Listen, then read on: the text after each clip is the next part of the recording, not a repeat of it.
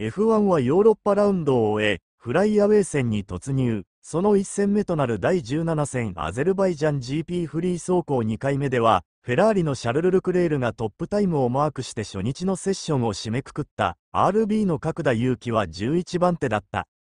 アゼルバイジャン GP フリー走行2回目では、フェラーリのシャルル・ルクレールがトップタイムをマークして初日のセッションを締めくくった RB の角田祐希は11番手だった。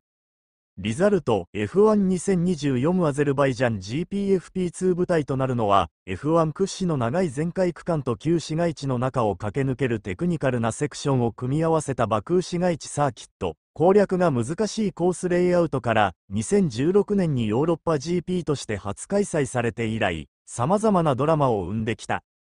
今年も FP1 から赤旗が3度提示されるなど荒れた展開となったが FP2 でもコース外へ飛び出すマシンも散見されたが中断なくセッションが進んでいった。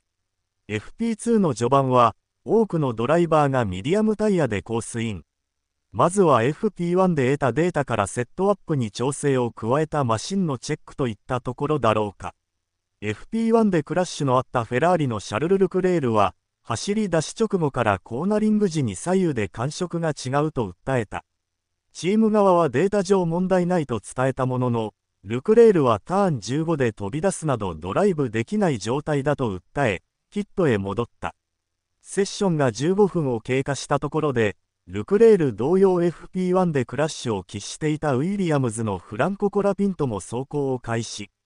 この頃には1セット目の走行を後、7周程度で切り上げて一度ピットへ戻るドライバーも多かった。残り40分となった頃、角田がソフトタイヤでコースイン。予選想定プログラムを開始し、1分44秒645をマークした。